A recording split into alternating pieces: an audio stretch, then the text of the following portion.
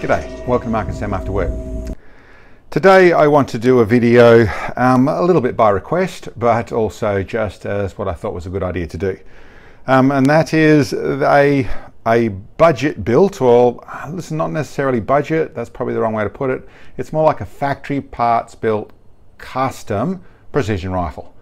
So it'll make more sense as the video goes on, but what it basically is, as much as I possibly can, build a rifle out of off-the-shelf parts that are all good value for money and build something that is precision um, and both to use in be it ELR or PRS or whatever is a precision rifle, something that I want to perform up there with a full level custom rifle, but using at least moderately budget level equipment. I'm starting with something that I've always, I've always found very good value is the Howa barreled action. They do a decent job in all sorts of form, the Howa side of things, but their core value is the barrels and the actions. I've found them always to be for very, very good money, well, cheap, you'd almost say, but they work as well as the high level stuff, which is costs a lot more. Um, so the factory trigger, the the action, the the whole lot in a in a in a factory form. I've chosen you could choose anything in their range, but I've chosen the six millimeter Creedmoor with a 26 inch barrel. I think it's a one and eight twist. It's threaded, standard trigger, standard everything. These ones come with a bolt knob. I've already actually changed over the actual bolt knob. I put this on a little while ago and I Loctited it off. Uh, so that I Loctited it on. I did that as soon as I got it in, before I pulled it out of the box. Well, just as I pulled it out of the box. But that is, uh, so I've changed over to an A1. I've forgotten this is a, I'll put the link down below as to, well not the link, I'll put down all the details of the components, but I've already got a bolt knob on it. But otherwise this is straight out of the box, a barreled action. Now what it's going to sit it in, there's all sorts of choices on the market at the moment. Um, I've used all sorts of things. One that I wanted to do because I thought it has a nice path in the way of being a little bit like the, the also rans or like everybody else, but it's also a very good piece of gear, and that is the KR, K, sorry, KRG Bravo um, chassis stock. Um, these have an aluminium chassis and then they have polymer bits they bolt to them. I'll go through it in more detail a little while, but a pretty decent thing. Um, the, the KRG do a little bit of um, some different ranges. The Bravo is very well um, costed for or priced for what, it, for what you get, but this is what I'm planning to put together with some other components. But, well, let's see uh, what I can turn this into. Okay, here it is. So, given the magic the magic of video, um, I've got it together. It's actually a week later. We've been through, we've been out and shot it, we've tested it. It's done all the bits and pieces it's supposed to do, um, and it performed above what I'd hoped. To be truthful. Um, and listen, I suppose I just want to go through and show the bits and pieces of what I've done here. Um, I think this is a great combination, but it's also of that shop bought um, parts where it's just an assembly of parts. There is one part I made actually, pretty obvious with the shiny bit over here, but there's one part I made. Basically it's shop bought parts um, that are put together in what ends up with a custom rifle in its own way of doing things in a budget sense, very much so, but with precision to go with a custom rifle. So I'll explain what I've used, why I've used all that sort of stuff, but I'll go through and do that now. So we have the Howa, as, as we started with, we have the Howa barreled action in the 6mm Creedmoor. The KRG chassis. Now these things I think are a very good option. I really liked them. I've, I used them a couple of times in the KRG Bravo chassis. They have an aluminium chassis inside the the the stock or whatever you want to call it. So there's a little chassis inside here, and then there's these polymer rear end and fore end that bolt onto them, which make them um, quite. Um, listen, what would I say? The way bolt up and the structure of things very, very good. It, it, does mean that you can't do much in the way of modding, modifying and drilling and bits and pieces to them. You've got to work with what they've got, but they are set up well to do that. Um, I bipod wise, I've used my bipod system to go with this. Now they are set up to run with any normal regular bipod, mounting on Picatinny rails, um, mounting on even an Arca rail on the bottom here, go through all the different ways you could do that, which would all be very good. Um, I like my bipod system having a very low center of gravity, the way they lock up, the way they, the long, long legs, all those sort of bits and pieces I really do like the way they work. And this having the little slot, the Bravo having a little slot in the front, and then being able to bolt to the aluminium chassis inside here and I'll show you some images of that meant that that bolts on really simply. Some some mounting bolting underneath the bottom here bolt to the chassis then the then the um, polymer fore end clips on over the top of it means that you still can put all the other bits and pieces on side of it and I get the benefits of my system at the front here going right forward use my 5.8 by 24 or the three port muzzle brake in the 5.8 by 24 very simple, a little bit of filing to, a little bit of um, timing it is what I did is actually just I've shown a video on how to do that but filed it down to get it timed perfectly so it's on nice and tight. They do a really good job really tames everything down but for us it's the no blast in the face and the not pushing dust off the ground is why we use it for our prone shooting so nice and simple and I like the look of them too so that, that's all straightforward on that side of things. I should say on the top here, I suppose this setup here is very particular to me in the way of both the rail and the um, ERA-TAC base are how I run things so I can swap things all over the place.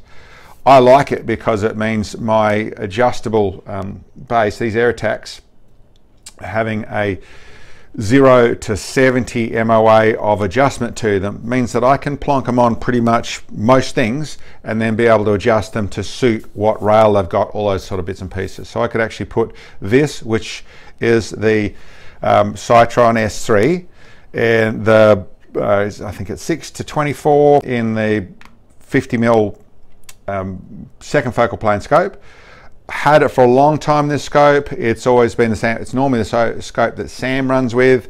Um, it's a very well priced. You can still get these sort of scopes. They're very good money for value. Um, and 100 moa so 100 minutes of internal elevation. So that setup i actually have it on a um, 40 moa rail.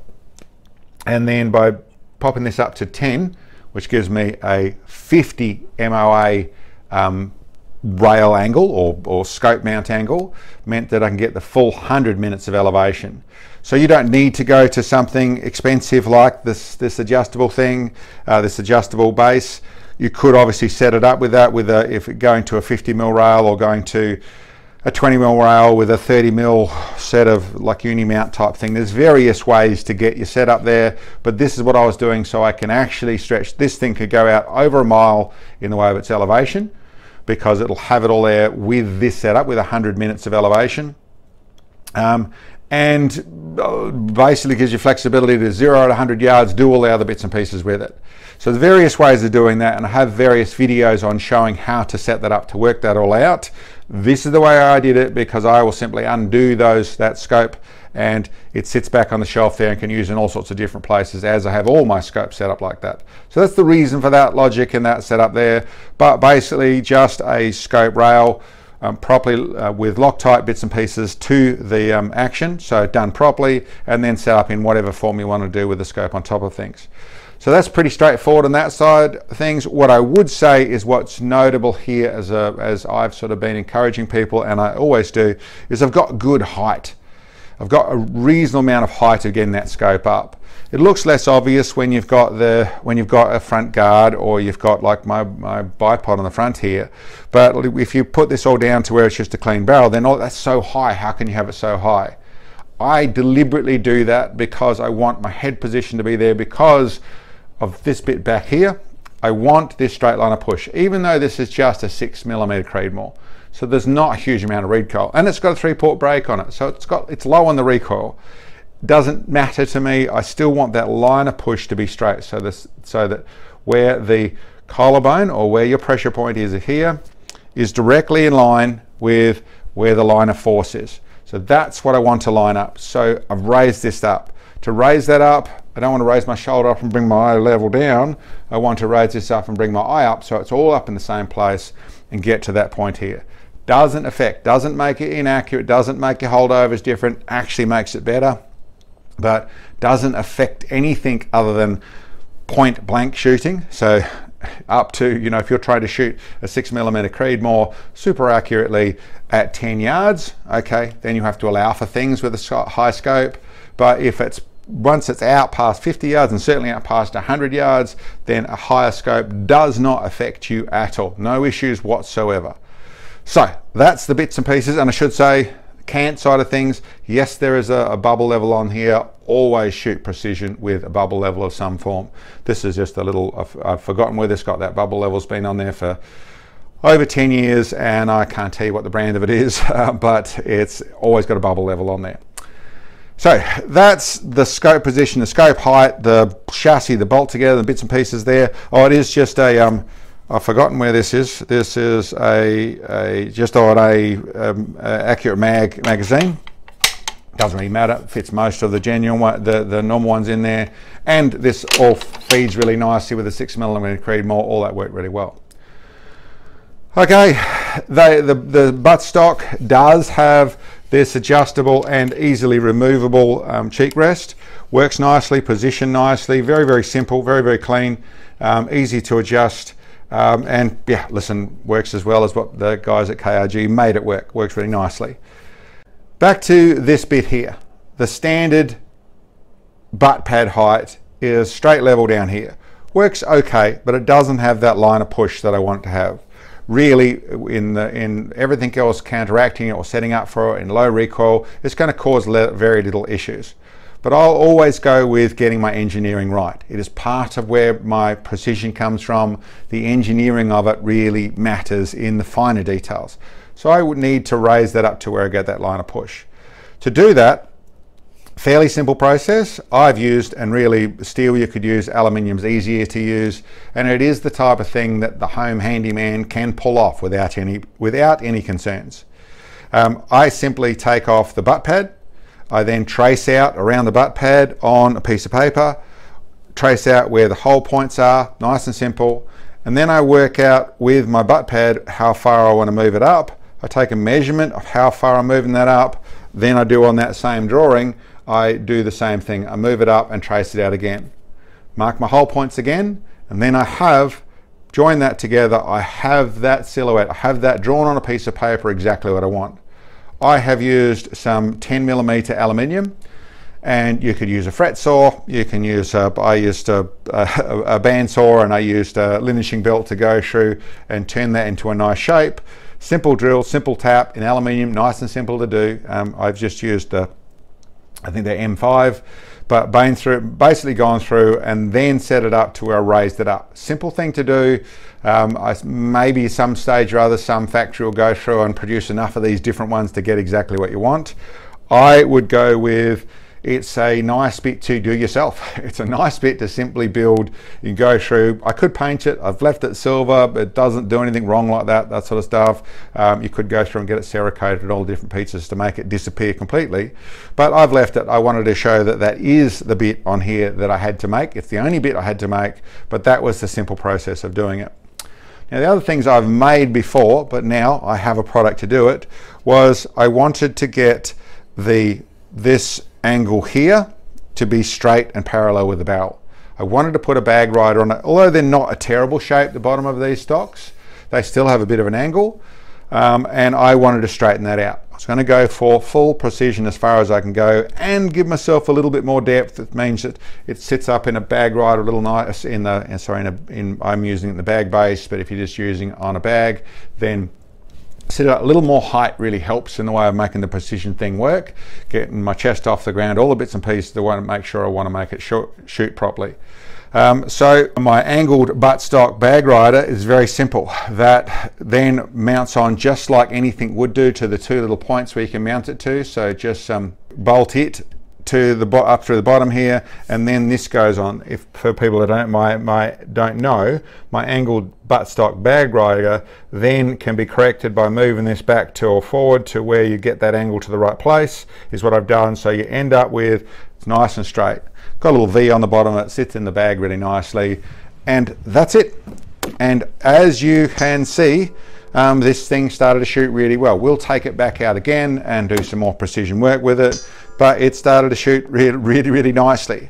Now, I would stress that they still are a decent thing, even without all this stuff on. A Bravo stock on, and the Howa barreled action shoots really nicely. The Bravo stock shoots really nicely as well. But these are the bits and pieces that I did to end up with something that, well, in my opinion, looks pretty good, but I suppose it's a bit of my stuff. Um, but feels nice to shoot, really nice and controllable, nice straight action in the way of the, the recoil action side of things was really good, and it's grouping really nicely. And of course, the six millimeter Creedmoor is not a bad round. A lot of speed out of the thing, so it's I was using the 109 grain Berger round and we're running at the 3130 roughly so really good speed out of it which means that we're cutting through the wind properly and nicely and lots of the stuff so at 1155 yards this thing was performing well enough to take down that's an 8 inch by 8 inch square plate that it was took down with I think it was 10 shots we went through to take that which should have been seven shots old seven hits so that's still performing really well so they're, listen, performing really nicely. We'll go out and do some more testing with this one here. But ultimately, apart from one little piece that I made, this is just a bunch of parts. Um, and there's various ways to, to, to skin this cat, do this in a different fashion. But this is still just a parts built custom rifle that um, really turns it into something that perform nicely and very good money for value. Anyway, guys, I hope you liked the video. Thank you very much for checking in and we'll catch you next time.